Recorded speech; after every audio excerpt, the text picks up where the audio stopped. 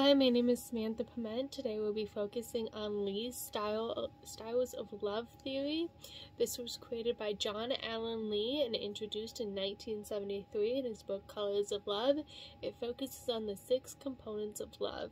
There are three primary love styles and three secondary love styles with nine total tertiary love styles. The three primary is Eros, Ludus, and Storge.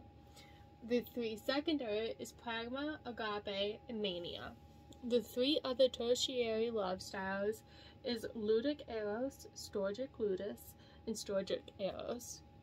This is the color of love wheel, which shows the ludus, storge, eros on the outside, and mania, pragma, and agape on the inside. The outside shows the primary, the inside shows the secondary styles. The first style of love is, for the primary, is Eros, which it can also be said to be romantic style. In this style of love, it was named after the Greek god of love. It has relentless passion and romance in it, and it is usually considered love at first sight. This has an emphasis on physical attraction and sexual desire within the relationship. They can be very committed, and erotic lovers, sorry, Erotic lovers uh, with a higher self-esteem is driven by passion, sexual attraction, and excitement. The pheromone, pheromones, endorphins, and neurochemicals are what cause this type of love. The second primary is game playing or ludus love.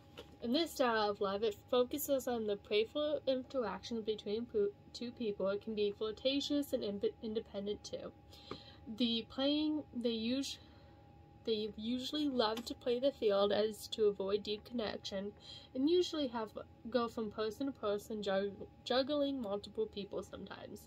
They do not follow traditional rules and are usually non-committal as they are very short-term sexual relationships. They do not hesitate to seduce, deceive, or manipulate, and this type of love connection is usually capitalized on by narcissists.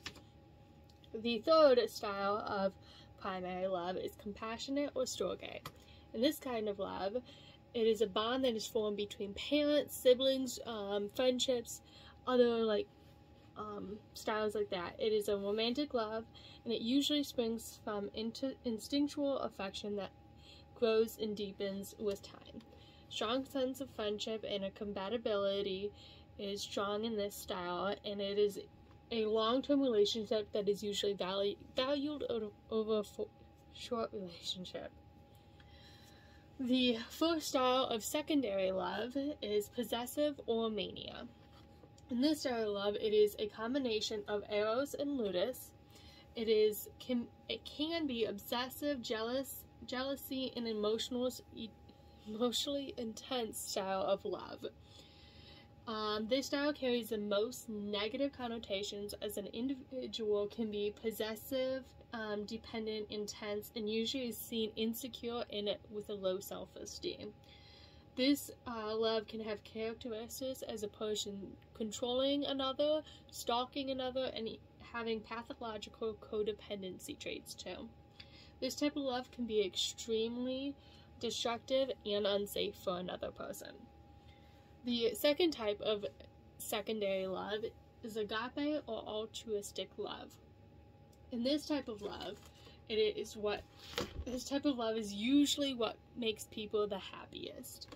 It focuses on the partner's needs and offers unconditional love, support, and affection. They are committed to caring for others and are selfless. Um, it is an unforced love and allows people to be patient, tolerant, and empathetic towards others. The third style of secondary love is pragma or pragmatic love.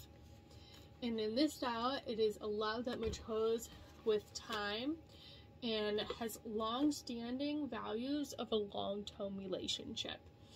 It has both Storge and Ludus styles of love in, in it, and anyone in this style will, usually has a willingness to compromise with a partner as so both of them grow and develop within the relationship. People in this love style usually have usually make rational decisions and want compatibility with each other above the, their emotions. I hope you liked the presentation. Thank you for watching.